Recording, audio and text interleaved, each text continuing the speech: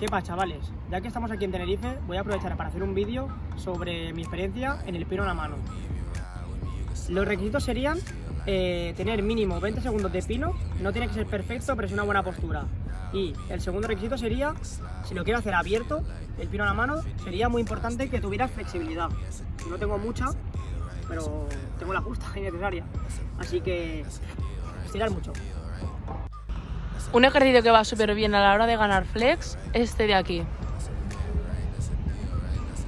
Si no tenéis unas paralelas, pues hacerlo en una pared. La espalda tiene que estar completamente recta. Saquéis el pecho hacia adelante y aguantáis. Si os cuesta mucho, eh, es muy importante que la trabajéis porque contra más abierto, mucho más fácil eh, tener la estabilidad a la hora de girar. Muy importante, antes de entrenarlo, un buen calentamiento de muñecas y manos y estirarlas. Lo ponemos así, vamos girándolas. Mínimo 10 minutos de calentamiento y estiramiento para evitar las lesiones. Ahora vamos a los pasos, que serían tres. Pero antes de esto, después de estirar y calentar, eh, es muy importante que tenéis algún pinito para ir calentando los hombros y toda la musculatura. Serían tres pasos. El primero es eh, colocarse en pino, ¿vale? Y moverse hacia el lado que lo vayas a hacer. Y luego para el otro también. Es importante que si quieres hacerlo para los dos lados, pues para el otro. Siempre habrá un lado que te cueste más. Pero si lo quieres hacer para un lado, no importa. Segundo paso, hacemos el primero, rotamos hacia el lado que lo vayas a hacer y ponemos los dedos. Tercer paso, hacemos el primero y el segundo y ponemos un dedo. Bueno, vamos quitando dedos hasta quedarnos con uno. Cuando lleguéis al tercer paso, el del dedo, eh, deciros que es muy importante que lo dominéis mínimo 15 segundos, 20, 30, contra más mejor, porque os dará ya eh, la estabilidad para ir soltando el dedo y aguantaros con una mano. Este es un vídeo sobre mi experiencia y mi opinión de cómo me ha ido, ya que es un truco que me ha costado muchísimo por no saber cómo entrenarlo básicamente y pues os recomiendo que si os cuesta alguna progresión, estando libre, pues pasamos a una pared o una caldera. Ahora vamos a ir. ¿Ya? Sí. Pues vamos hacia un lado y dedos.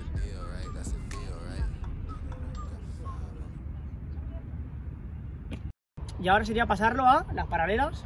Recomiendo que si las hacéis en bajitas, es más fácil, pero no hay otras aquí. Así que vamos a ir. Primer paso, rotar hacia un lado.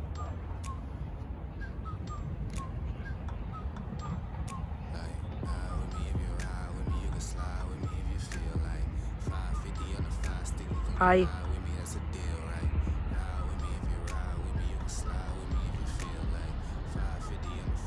Segundo paso, poner los dedos.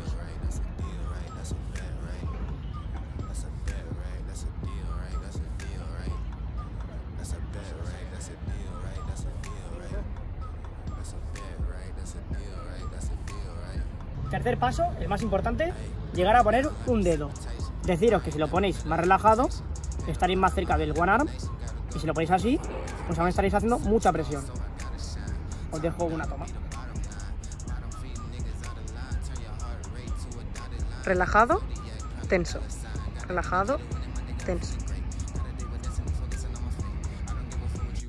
Y ahora dejo un fallo que suelo ver, que es como hacer pino a una mano captura.